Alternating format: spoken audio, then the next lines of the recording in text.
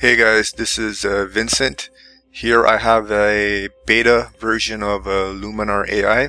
So I'm going to show you a few features of uh, the software. So since this is a beta version, uh, the interface may or look uh, different when the uh, production release comes out later in 2020, most likely during the holiday season as well as some of the tools or features uh, they may interact or uh, perform differently with the uh, final version.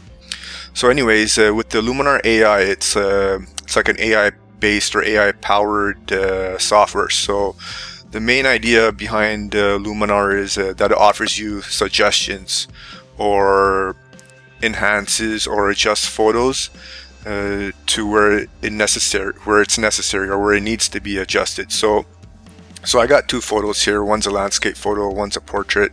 Uh, I mainly do uh, travel photography, so I don't have many uh, portraits. So with this portrait that I have here, it's an Adobe stock uh, image. And let me just go back here to the main to the main template section. So what uh, Luminar AI does is it offers you uh, templates or suggestions of templates to use. So if you look at this photo of this portrait, it offers like uh, this portrait template of uh, easy portraits and it's got a few uh, templates here. Let me just go back to the main template section and if I click on my landscape photo it should change to uh, landscape uh, suggestions or landscape uh, templates as you can see. So what I'll do with this review is I'll just start with the Adobe stock image I have and I'll go back to the main templates area and I'll click on easy portraits. And keep in mind this is going to be adjusted in the final uh, release uh, as well. The way it uh, offers or suggests uh, templates uh, based on the uh, type of image you have. So for this portrait I'll just check out a couple of the templates that it offers or suggests. And like all templates or presets some work and some don't for the image. So I'll just stick with this uh, vignette uh, template. And with these templates uh, you can change the opacity if you want by just decreasing the slider at the bottom. And this template's very subtle so you may not see or notice the difference on video uh, but there is a change. And if you want to further adjust the templates uh, you can definitely uh, do that. And what Luminar AI does is for any tools or technologies it makes adjustments to the name will be uh, highlighted. Kind of like here where it has light it decreases shadows a little bit added some smart contrast. Uh, but the main thing about Luminar AI with portraits is uh, or the main feature is its uh, portrait features.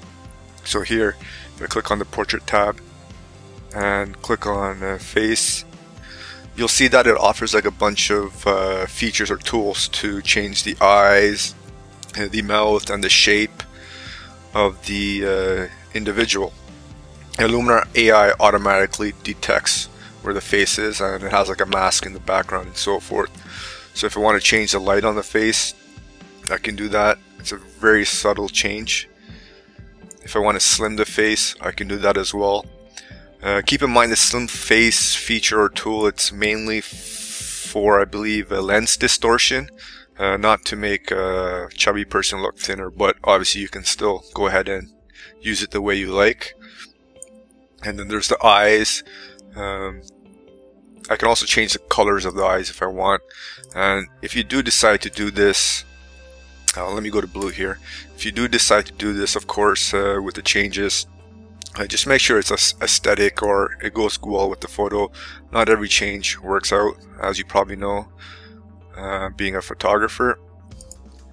Like even, oh this mint one doesn't look too bad, this mint iris. And I can also enlarge the eyes if I want. And then I can make some saturation or add some saturation to the lips. Make it red or more red. And I can also whiten the teeth. It does a very subtle change to the teeth whitening. And if you need to further whiten it, then you'll need like an advanced uh, photo editor but this does a pretty good job to make uh, subtle changes for the teeth whitening let me take a look at the before and after yeah, so it definitely improved the uh, image. We also have this skin AI to resurface or retouch the skin a little bit more. It just reduces the blemishes. And as you can see, let me turn it off and on. And it does a pretty good job. You see there's still a little bit of acne or blemishes here. In order to correct that, you can further uh, retouch the image with the erase tool. I'll click the erase tool here, just click on this, and maybe these as well, and then click on erase. So it's pretty good to remove like simple dust spots or simple uh, blemishes. So that's like the uh, portrait or some of the face features that Luminar AI offers. But anyways, I, I'm mainly a landscape or a travel photographer, so let's go to this travel image I have here. Go click on templates. This should change. Well, I got to go back to the main template section. And these are the landscape, or this is this is the template that Luminar AI suggests or recommends. So I'll just click on that, and I'll test out a few of them. I got dynamic result, which looks pretty good. A lot of saturation to my orange Lowepro camera bag it added. And here's a monochrome one. This is very this is a very subtle mellow mellow look. It's not too bad but it's not my style. Got this night's thunder here. The backlit clouds. And the Arctic Sea. I like this look a lot. But I'll play with the night's thunder here and take a look at it. I really like this melodramatic look it has or whatever the type of look it's called and just reducing the opacity of this template. And then I can further edit it and let me go to the enhance tool if I want or which I am and add a little bit more depth or texture to this image. Looks pretty good. It, it kind of like blew out kind of blew out this uh, bag here so what I can do is just adjust the brush or adjust the mask. So let me click on the erase tool here make sure that's selected. And I can just brush this away.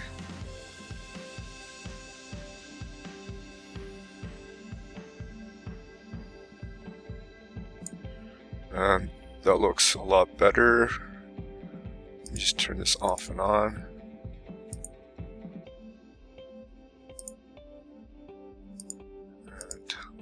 take a look at the before and after.